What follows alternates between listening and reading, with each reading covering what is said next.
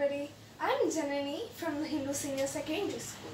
Today, let's embark on a journey beyond Earth's bounds, exploring the remarkable world of moon missions.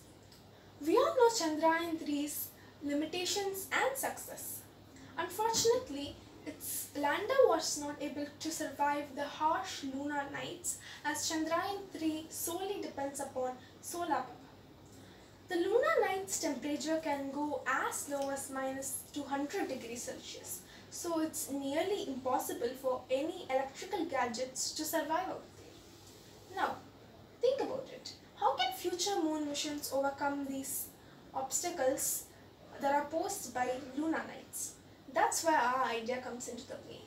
In this innovative scenario, we have a satellite that is fixed in the moon's orbit and it has a laser that is powered with the solar panels. This is not an ordinary laser but this is a high power laser beam. So this laser beam is directly projected into the photovoltaic cell of the moon lander. This laser beam becomes a lifeline for the moon lander's vital components to survive during the lunar nights and carry out its main mission during the lunar day that is to collect and transport data of the moon back to the earth. If you think about it, these solar panel uh, satellite can also be uh, used for multiple landers and other countries' similar moon missions. By this way, we are using space resources effectively and earning funds by them.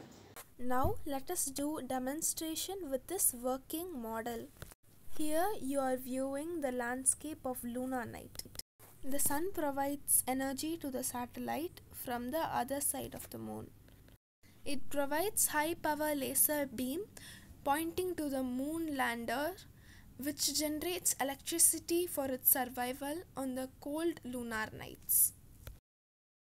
By this way, the satellite powers multiple landers cost efficiently. Have a look at a satellite which contains a laser module and a solar panel. This model is for our future lunar missions. In conclusion, our uh, spacecrafts illustrates human curiosity and determination. Let their legacy inspire us to innovate, create, and crack the mysteries of the universe. Thank you.